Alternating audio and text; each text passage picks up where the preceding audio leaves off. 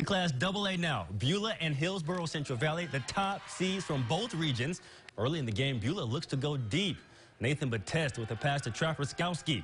But this pass will be picked off by Hillsboro Central Valley. That was a great catch there. That was a big turning point in this game as Hillsboro's Micaiah Gallagher finds Oscar Benson down the middle, and he will roll to the end zone. Hillsboro leads 8 to nothing. Beulah would go on the board as Jace Lee scores, but the outcome was already decided by this point. Beulah falls in this one 35 to 12.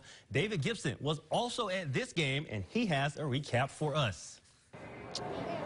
Yeah, Joey, moving to double A, Hillsboro Central Valley won 35 to 12. They ran the ball well and limited their turnovers, and they uh, took care of the ball on the offense, but they shut down a red heavy uh, Beulah offense and forced a few turnovers to secure a state title. And here's what Coach Olson believes helped them lead them to victory.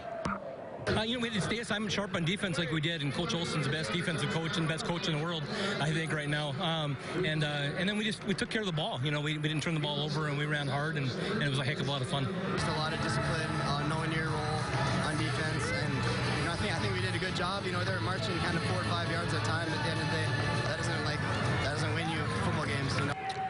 Coach Olson said he was pleased with his guys' effort, and he said this title was for the fans that traveled all the way down here to celebrate them.